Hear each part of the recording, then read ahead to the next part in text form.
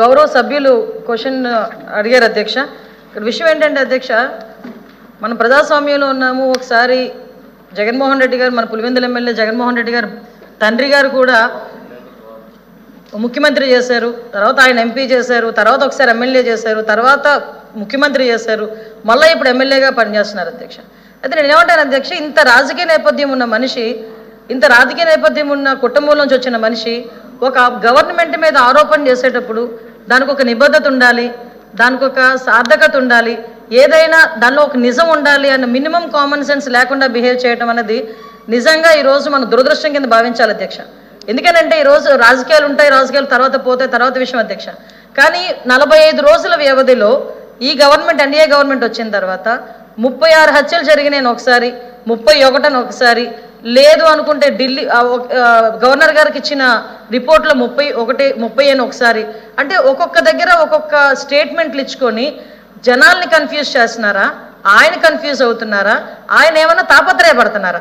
అంటే ఎంత తొందరగా ముప్పై ఐదు హత్యలు జరిగి ముప్పై ఆరు హత్యలు జరిగినాయని నేషనల్ మీడియా అడిగిన తర్వాత ఢిల్లీలో కూర్చొని ఢిల్లీలో ఉన్నప్పుడు ఆ ముప్పై ఆరుకు సంబంధించిన లిస్ట్ ఇవ్వండి అని చెప్పి అక్కడ మీడియా వాళ్ళు అడిగితే ప్రశ్నకి దాటేసేసారు. ఆన్సర్ చేయకుండా పక్కన పక్కకి వెళ్ళిపోయారు.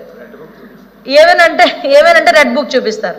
విషయం ఏంటంటే ముప్పై ఆరు కే ముప్పై ఆరు కేసులు ఉన్నాయని చెప్పి ముప్పై ఆరు కేసులు ఒకటే కదా అధ్యక్ష ఇందాక గౌరవ సభ్యులు చెప్పినట్టుగా సుమారుగా ఒక ఐదు వందల పైగా దాడులు జరిగినాయి వెయ్యికి పైగా ఆస్తులను ధ్వంసం చేశారు అని చెప్పి ఫిగర్లతో సైతం ఇన్ని ఇన్ని రకాలుగా ఆయన మాట్లాడిన తర్వాత నాకు అర్థమైంది ఏంటంటే ఆయనకు ఒక్కొక్కసారి అధ్యక్ష ఆయన ఆలోచన ఎలా ఉంటుందంటే పాత ఆయన చేసినవన్నీ ఇప్పుడు జరిగినాయి అన్న అపోహలో ఉన్నారో ఏంటో నాకైతే అర్థం కావట్లేదు అధ్యక్ష.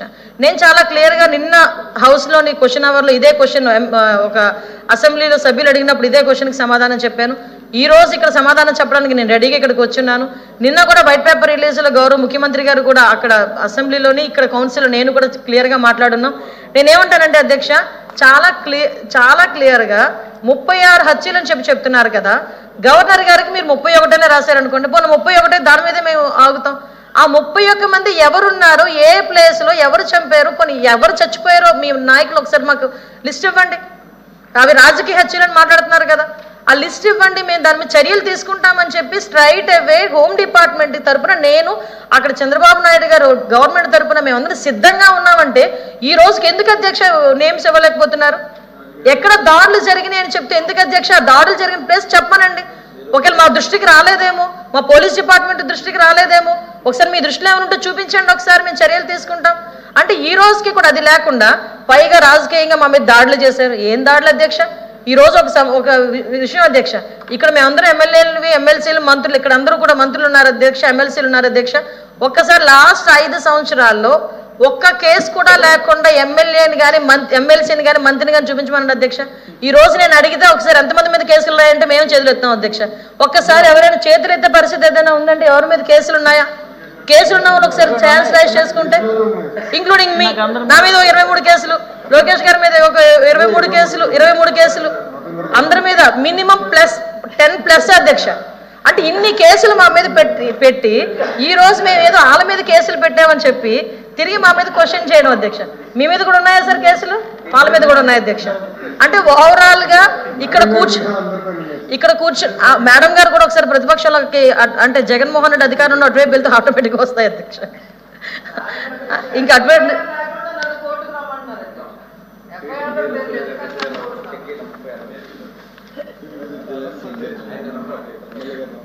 అదే అధ్యక్ష ఓ పని చేస్తాను అధ్యక్ష. ఇంకొకటి మా సభ్యులు కూడా సలహా ఇచ్చారు ఈరోజు. ఎక్కడ ఫీల్డ్ విజిట్కి వెళ్దాం అధ్యక్ష. ఎక్కడ ఏం జరిగినాయి అన్న దానికి? పులివెందు ఎమ్మెల్యే గారిని రమ్మనండి. ఫీల్డ్ విజిట్ కూడా మేము వెళ్తాం. అంటే ఓవరాల్గా చెప్పాలంటే ఇన్ని ఇన్ని హత్యలు జరుగుతు జరిగిపోయి అని చెప్పి ఒక రాష్ట్ర ప్రతిష్టను దెబ్బతీయడానికి అధ్యక్ష. ఇదంతా కాజ్ ఏంటంటే లాస్ట్ ఐదు సంవత్సరాల్లో అతను పరిశ్రమలు తెచ్చుకోలేకపోయాడు పెట్టుబడులు తెచ్చుకోలేకపోయాడు రాష్ట్రాన్ని అభివృద్ధి పనులు ముందుకు తీసుకెళ్ళలేకపోయాడు కేవలం దోపిడీకి దారుణాలకి అవినీతికి అడ్డాగా మార్చాడు.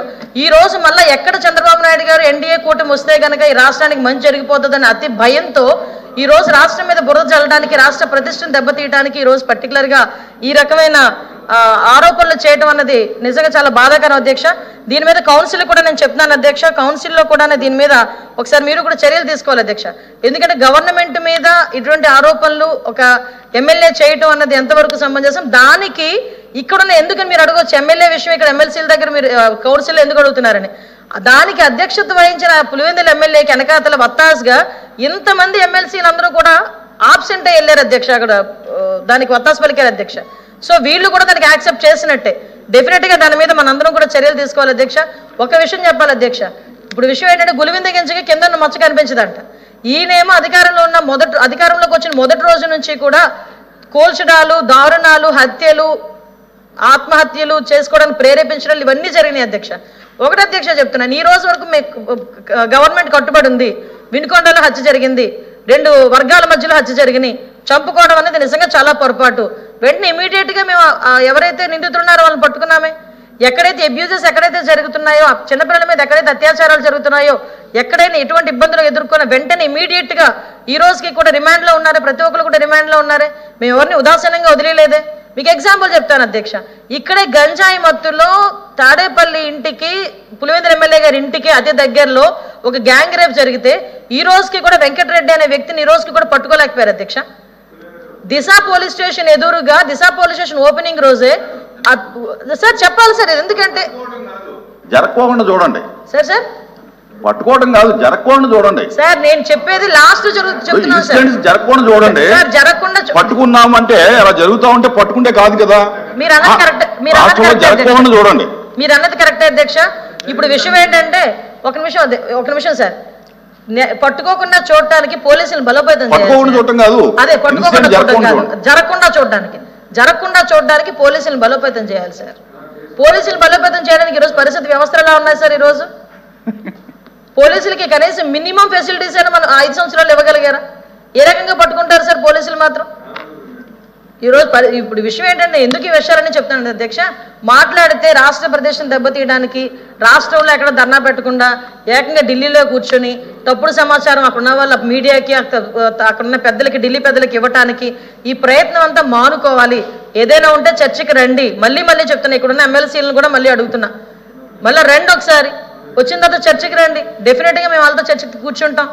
వాస్తవాలను ప్రజలకు తెలియజెప్దామని మీ- ద్వారా తెలియజెప్పుకుంటున్నాను అధ్యక్ష. ఓకే అధ్యక్ష అనుబంధ ప్రశ్న. అనుబంధ ఒక్క సెకండ్. బాబు దాటవేశారు అధ్యక్ష.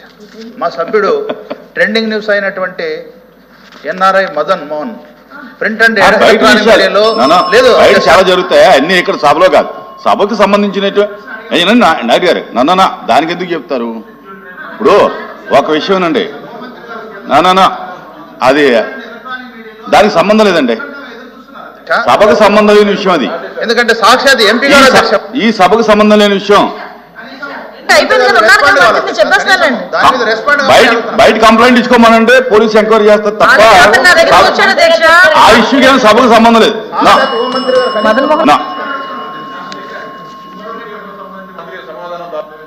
పొంగునూరు.